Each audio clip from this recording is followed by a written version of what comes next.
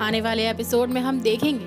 कि गौरा और धर्म इस बात के लिए बहुत ज़्यादा खुश हो रहे होते हैं कि कोकिला की हालत तो बद से बदतर होती ही जा रही है और उसके बचने के चांसेस तो अब बचे ही नहीं हैं। इस बात से दोनों ही माँ बेटे बहुत ज़्यादा खुश हैं, जिसके बाद मोदी परिवार उनकी इंसल्ट करके उन्हें हॉस्पिटल के बाहर जाने को बोल देता है। ये कहते हुए कि बस, अब तुम दोनों का साया मैं अपनी कोकिला पर पड़ने भी नहीं दूँगी। जब हेतल उसको ये बोलती है, तब गौरा तो हेतल की शक्ल ही देखती रह जाती है, जिसके बाद वो दोनों बाहर आ जाते हैं। धर्म और गौरा आपस में खूब खुश होकर बात कर रहे होते हैं कि कैसा मज़ा चखाया मोदी परिवार को। और वो कोकिला, उसका तो काम तमाम अब होने ही वाला है कि तभी एक जोरदार डंडा पड़ता है उसके सिर पर और उसके काफ़ी खून निकल आता है।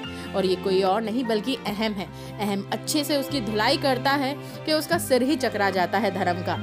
गौरा बहुत कोशिश करती है अपने बेटे को बचाने की, लेकिन वो बचा ही नहीं पा रही होती है।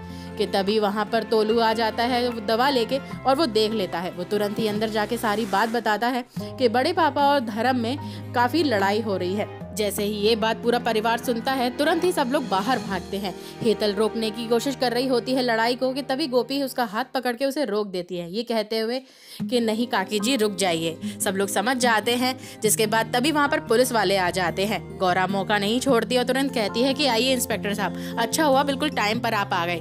ये देखिए इसने किस तरह से मेरे बेटे की मार लगाई है। तभी सब लोग मुकर जाते हैं। ये कहते हुए कि नहीं, पहले इसने यानी कि धर्म ने इस पर हमला किया था। तभी उसने अपने बचाव में ये सब किया, अहम ने। अहम ने कुछ भी नहीं किया है। तब इंस्पेक्टर भी अहम के साइड ही होता है, क्योंकि अहम का ये सारा पसारा प्लान था, और वो खुद के भी एक डंडा मार लेता है, जिससे कि उसके भी चोट लग जाती है। और फिर वो कहते हैं कि चलिए, अब आप हमारे साथ चलिए, आपको गिरफ़्तार किया जाता है, क्योंकि आपके बेटे ने मिस्टर अहम मोदी पर हमला किया है। और उन्होंने पहले से ही आप लोगों के खिलाफ एक केस भी फ़ाइल कर दिया था। ये बात सुन के गौरा तो चकरा ही जाती है।